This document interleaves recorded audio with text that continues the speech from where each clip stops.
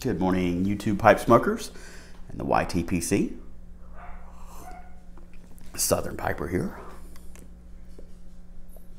This morning I am drinking just some black coffee in my Air Force mug. And I am smoking Bat with a Hat out of my favorite pipe. This is my, this was one of my first nice pipes. It is a Thomas Cristiano. Um, and I just, I absolutely love, love, love this pipe. I don't know if I've ever shown you guys, but it's got some really nice bird's eye, just a lovely smokes. Never have a problem with this, with this pipe. So Appreciate you stopping by this morning. Happy New Year's Eve. This time tomorrow would be a new year. Um, and hopefully a better one.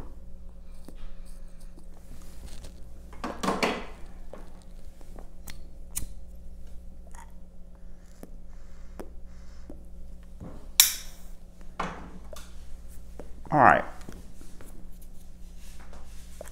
I wanted to talk about collecting. We have, as pipe smokers, uh, a, a built-in mechanism by which to have a collection because we have pipes. I'm going to close this window. Bear with me.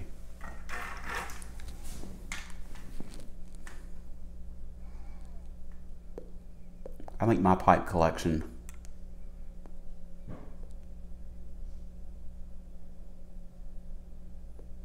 think I'm up to uh, I may be at 30.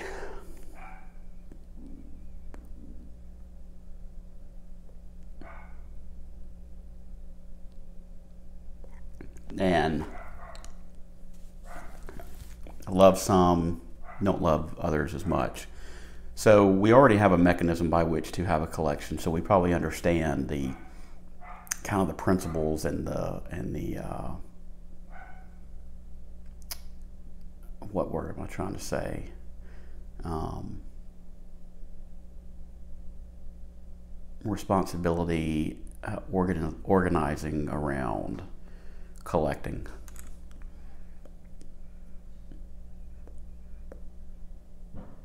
So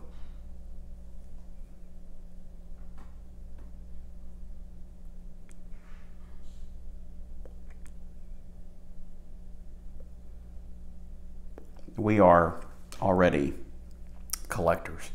But I wanted to show you a few things that, that I have collected uh, and continue to collect just to show them off.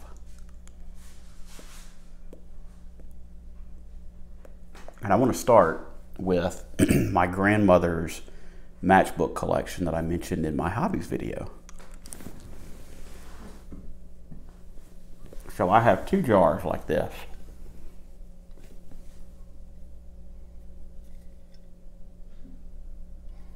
Full of matches. Mostly full of matches. Now, some of these are ones that I have added because uh, I had gotten into collecting them um, until they kind of went by the wayside and, and really you can't find matchbooks anymore. But they're fun. They're literally from all over the world including right here at home, because, and I don't know why she picked these up, but that book right there, First Alabama Bank. you, if you live in the States, you may recognize that by its current name, which is Regions Bank. Um, I don't know how far reaching uh, Regions is. I know it's all over the southeast, um, but it is one of the larger banks, headquartered here in Birmingham. A little history lesson there for you. So, I wanted to show you a few of these to show you how far uh, my grandmother traveled. We will start in the Far East.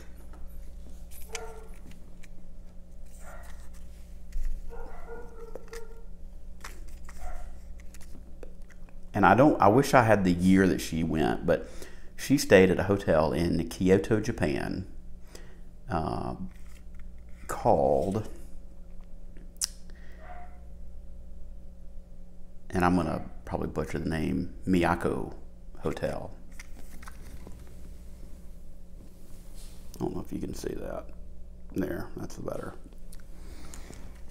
And while she was in Japan, she went to Tokyo and stayed at the Imperial Hotel.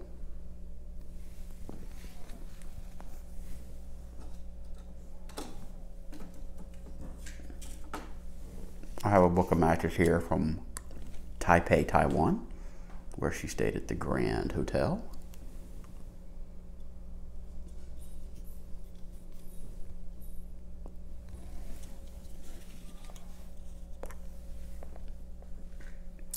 And then will come, well, there's one more. And I have not done research. I don't know where this place is, but it's Ocean Palace Restaurant and Nightclub. And it has some sort of characters from the Far East. Um, but I'll have to do some research to figure out where that is. And some of you may know just by looking. All right, so we will come west, and this, I believe, was from Sweden.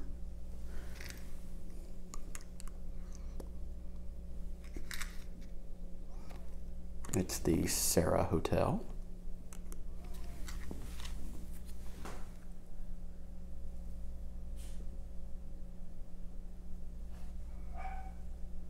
Hmm.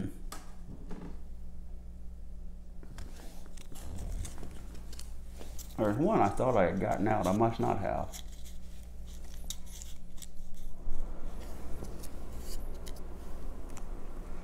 But there was also uh, a hotel from Stockholm. Uh, here is a hotel in Cairo.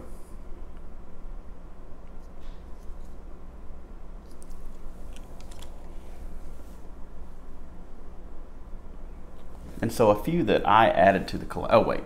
Let's come back to the United States. So I always appreciate this book of matches because it's from my hometown and um, the establishment is no longer in business, but it's Clancy McHugh's. Used to be a little uh, pub downtown. And so I always, I love that book also.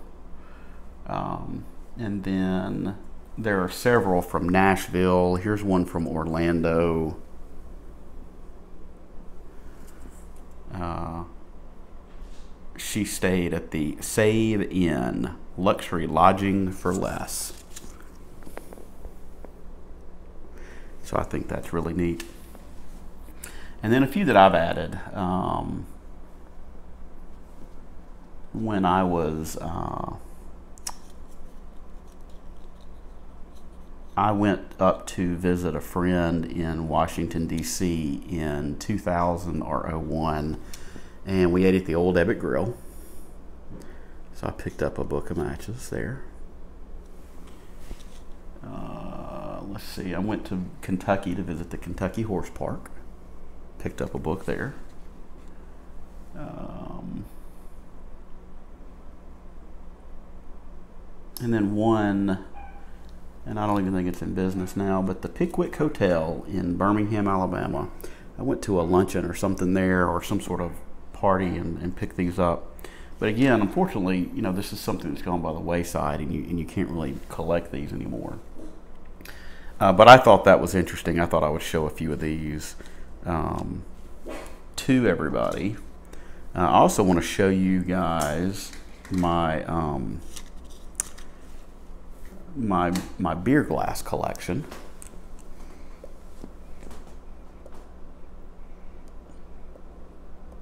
And so we're gonna we're gonna switch to do that. um, and then we'll and then we'll come back and uh, talk. So here is my pint glass collection. I've got a few up there. And I'll tell you a background on a few of these. So, and why they're special and why I collect them. So this is Packy's uh, Sports Bar and Grill, and that is right outside the gate of Wright-Patterson Air Force Base. And I spent many a night in there hanging out with my buddies when I was stationed up there. Um, this is Richbrau.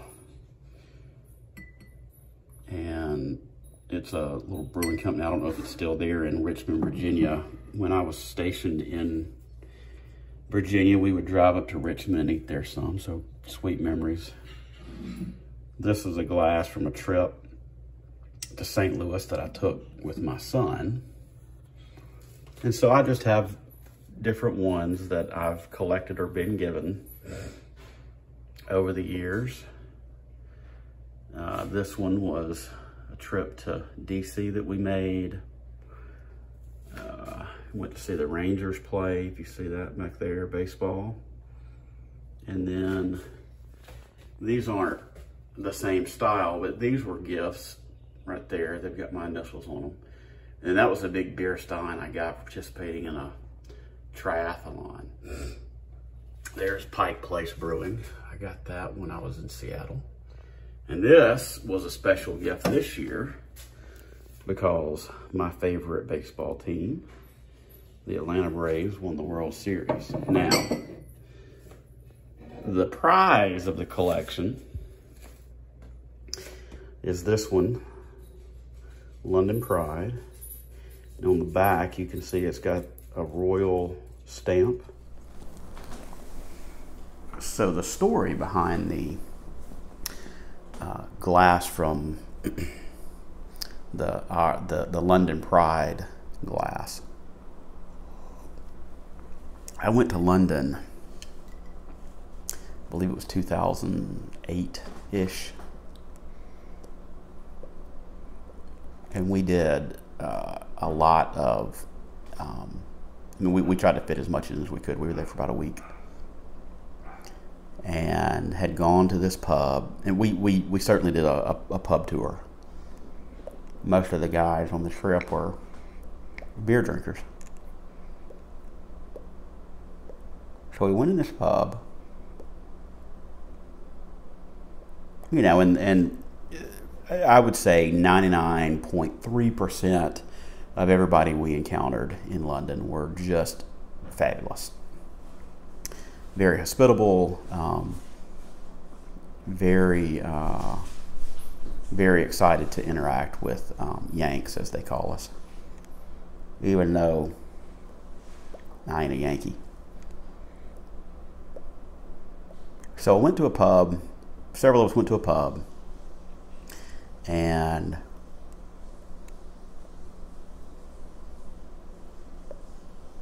the barman uh, obviously recognized our our uh, accents, and you know we started bantering about beer and how uh, the beer in England is better, and uh, and it was it was really fun time. Uh, and I asked, and I was drinking London Pride, and I loved the fact that and it was the first time I'd seen it. It, it, it happens here in the states now too, um, but at the time, I had not seen it much. But you know, whatever beer you ordered, they served it in a glass with the with the name on it. And so, I asked the barman if I could uh, buy the uh, glass. I wanted to take it home with me. I collected. I apologize for the barking. So he said, "Well, I can't sell it." And so I, you know, I said, well, you know, just name name a price. I'll I'll pay. And I, I think I may have offered him ten pounds. Said, I can't do it. He said, but I tell you what, if you can finish another one, I'll give you the glass. I was like, okay. So that's the story behind my London Pride glass and one of the reasons it's the pride of my collection. So,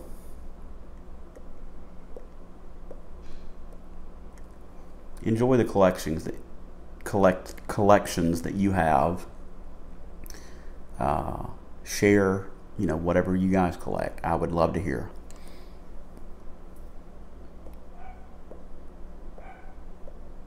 And until next time, I wish you a happy new year, happy smoking, and blessings to you and your family.